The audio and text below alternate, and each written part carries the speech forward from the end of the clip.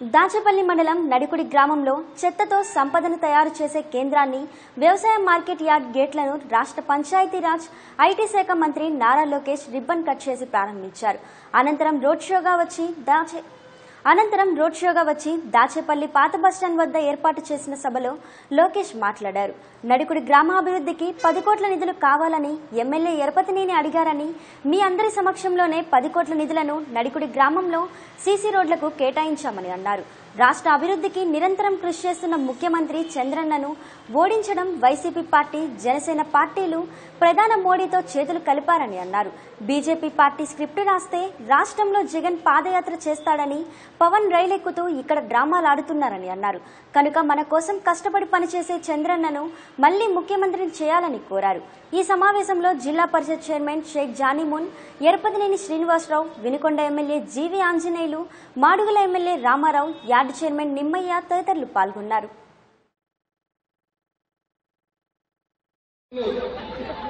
దాదాపు ఆరు నెలల పాటు బస్సుల్లో పడుకుని మని మంది పరిపాలించిన వ్యక్తి. పదహారు వేల కోట్ల నోట బడ్జెట్ ఉన్నా తెలుగుదేశం పార్టీ ఇచ్చిన ప్రతి హామీ ఒక పద్ధతి ప్రకారం నిలబెట్టుకున్నాం. యావత్ భారతదేశ చరిత్రలో ఏ రాష్ట్రంలో జరగని విధంగా ఇరవై నాలుగు వేల కోట్ల రైతు రుణాలు మాఫీ చేసిన ఘనత మన చంద్రన్నది అంతేకాదు డాక్రా సంఘాలన్న ప్రతి మహిళ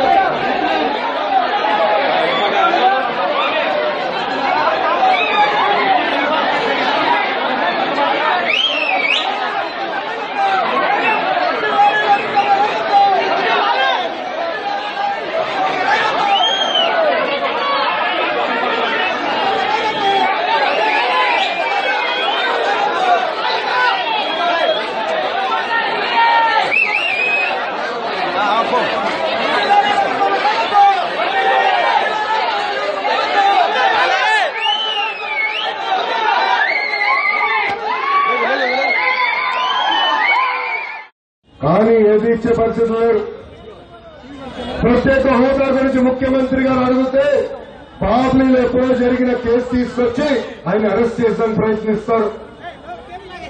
అయ్యా వైజాగ్ రైల్వే జోన్ గురించి అడిగితే వాళ్ళ ఎంపీ మన ఎంపీ మీద దాడి చేస్తారు. మీ పైన ఈడీ కేసులు పెడతారంటారు. కడప ఉక్కు ఫ్యాక్టరీ కోసం మన ఎంపీ రమేష్ అన్న దీక్ష చేస్తే ఆయన పైన ఐటీ దాడులు చేస్తారు. నేను ఒకటే చెప్తున్నా నరేంద్ర మోడీ గారికి ఇక్కడ భయపడేది ఎవరో లేరు. ఆనాడు మీరు హామీ ఇచ్చారు. వెంకటేశ్వర స్వామి సాక్షిగా మీరు హామీ ఇచ్చారు. కానీ ఏమైంది ఆ హామీ అని అడుగుతున్నా. చేస్తాం జరిగింది. అంతేకాదు మన అమరావతి మన రాజధాని మన జిల్లా కూడా చంద్రన్న తీసుకొచ్చారు. ఆనాడు ప్రతిపక్షంలో ఉన్న జగన్మోహన్ రెడ్డి గారు కావాలని ప్రజల మధ్య చిచ్చు పెట్టడానికి ప్రయత్నించారు. ఆయన అందరినీ ఒప్పించి రాష్ట్రంలో ఉన్న అన్ని జిల్లా ప్రజలను ఒప్పించి మన జిల్లాకి అమరావతి తీసుకొస్తాం జరిగింది. అంతేకాదు అనేక పరిశ్రమలు ఐటీ కంపెనీలు కార్ తయారు చేసే కంపెనీలు సెల్ ఫోన్ తయారు చేసే కంపెనీలు కూడా ఆంధ్ర రాష్ట్రానికి మన చంద్రంగా తీసుకొస్తాం జరిగింది. తెలుగుదేశం పార్టీ జోడెత్తుల పండి ఒక పక్కన సంక్షేమం ఇంకో పక్కన అభివృద్ధి ఎంఎస్పీడే ముందరెళ్తున్నాం భారతదేశం ఏ రంగం తీసుకోండి? సంక్షేమంలో ఆంధ్ర రాష్ట్రం నంబర్ వన్ గ్రామీణ అభివృద్ధిలో ఆంధ్ర రాష్ట్రం నంబర్ వన్ తలసరి ఆదాయం ఏ రాష్ట్రంలో ఎక్కువ పెరిగిందంటే దానికి కేర్ ఆఫ్ అడ్రస్ ఆంధ్ర రాష్ట్రాన్ని చెప్పదలుచుకున్నాం. ఇంత అద్భుతమైన కార్యక్రమాలు జరుగుతుంటే మన ముఖ్యమంత్రి గారిని అభినందించి ప్రత్యేక హోదా ఇచ్చి ప్రోత్సహించకపోగా ఈ రోజు ఆంధ్ర ప్రజలకి నరేంద్ర మోడీ గారు వెన్నపోటు పరుస్తాం జరిగింది. ఇరవై తొమ్మిది సార్లు రెండు వేల పద్నాలుగు రాష్ట్ర విభజన ఎలా జరిగిందో ఆలోచించాలా? కొత్త భర్తలతో మనం నిలబట్టి బయటికి ఎంపేశారు.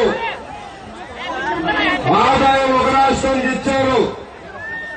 అప్లవ మన ఎత్తు మీద పెట్టారు. పదహారు వేల కోట్ల నోటు బడ్జెట్తో ఆంధ్ర రాష్ట్రాన్ని ఏర్పాటు చేస్తాం జరిగింది. కనీసం మన ముఖ్యమంత్రి గారు కూర్చునే దానికి ఒక కుర్చీ కూడా లేని పరిస్థితి. ఆనాడు మన ముఖ్యమంత్రి గారు పెదవాడ పెదవాడ వస్తే బస్సులోనే పడుకున్న రోజులు దాదాపు ఆరు నెలల పాటు బస్సుల్లో పడుకుని మన్ని మన్ని పరిపాలించిన వ్యక్తి. పదహారు వేల కోట్ల నోటు బడ్జెట్ ఉందా? తెలుగుదేశం పార్టీ ఇచ్చిన ప్రతి హామీ ఒక పద్ధతి ప్రకారం నిలబెట్టుకున్నాం. యావత్ భారతదేశ చరిత్రలో